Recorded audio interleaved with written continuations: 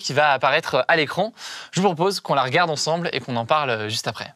Quelle serait votre première décision concrète si vous êtes élu président de la République?